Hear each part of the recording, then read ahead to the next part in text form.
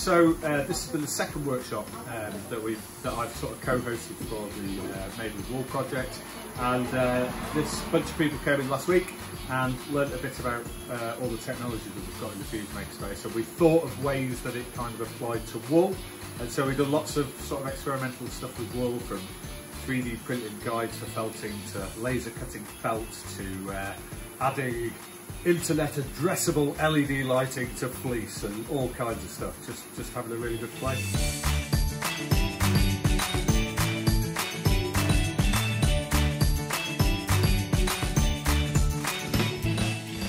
It was really interesting because one of the ladies brought in um, some wool from her own sheep and then we got to do a little bit of needle felting um, and that was really nice and it's nice to work with kind of the actual raw material and not just stuff that you bought in the shop. Um, yeah, really nice.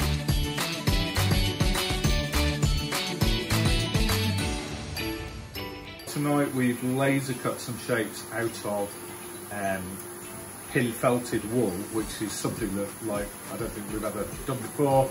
Um, and so just, I, I, I don't think there's a particular thing that I want to make, but I'm intrigued as to where it goes.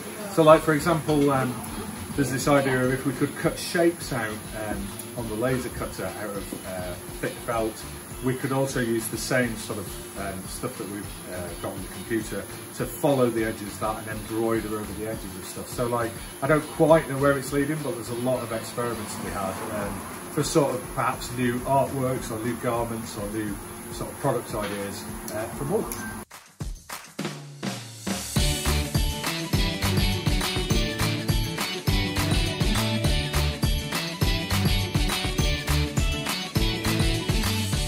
The workshop was great. It was really nice to meet new people and learn about the, um, the project that you've got going on. Um, and it was really interesting learning about the disparity in price between kind of wool off the sheep and then wool on the shelf.